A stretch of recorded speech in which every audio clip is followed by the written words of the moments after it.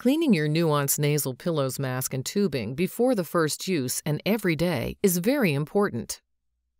For best results, the mask should be disassembled. Begin by peeling the cushion from the elbow. Pull the elbow from the frame. Do not attempt to separate it from the tube and swivel, which are permanently attached.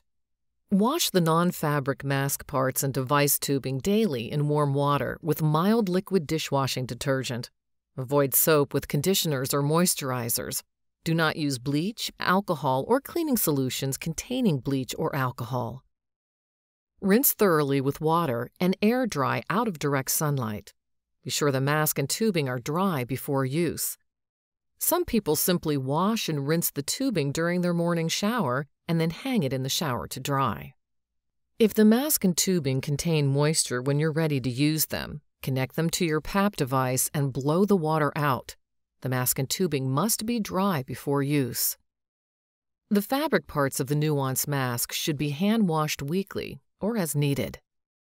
Lay the headgear flat or line dry. Do not place it into the dryer.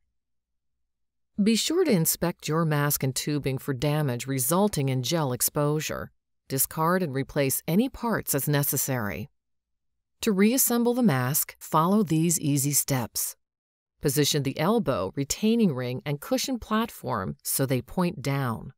Press the elbow into the retaining ring until all the sides are flush. Push the cushion onto the back of the elbow.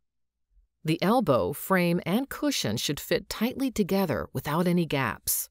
The cushion should fit securely on the elbow with the pillows at an angle towards the nose. If there are gaps or the angle is low, remove the cushion and reattach.